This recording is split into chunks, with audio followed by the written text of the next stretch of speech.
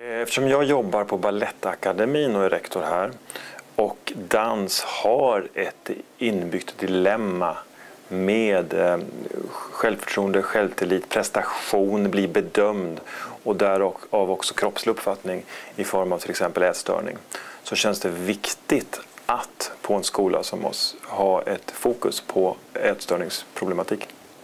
Alltså bak, bakgrunden till ett ökat fokus runt ätstörningsproblematik är väl att jag märker mer och mer hur angeläget det är i mötet med de här ungdomarna som går dansarutbildningen hos oss att eh, ha, ha, ett fokus på det här. Alltså jag tänker att framtidsmålet är att, att göra studenterna så medvetna som möjligt över eh, problematik som finns i dansvärlden, i dansare som, i, i dansare som yrke. Och Jag tänker också att för, för mig på skolan så är också ett, ett, ett, eh, ett längre perspektiv viktigt.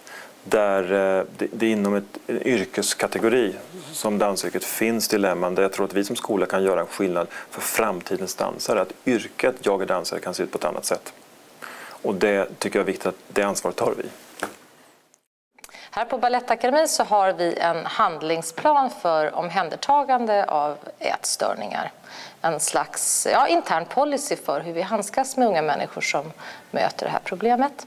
Vi kom fram till att vi behövde en handlingsplan därför att vi, eh, det, vi hamnade ofta vid pedagoger i situationer av att prata om elever och studenter som hade problem och vi hade lite olika sätt att nalkas det här på. Då kände vi att vi ville ha stöd av varann och göra en slags manual om hur vi skulle handskas med det hela så att man fick stöd i att det man gjorde var korrekt på något sätt. Därför att man blir rätt empatiskt involverad i sina elever och ibland kan det vara svårt att se det man behöver göra därför att man tänker väldigt mycket med hjärtat när man är pedagog.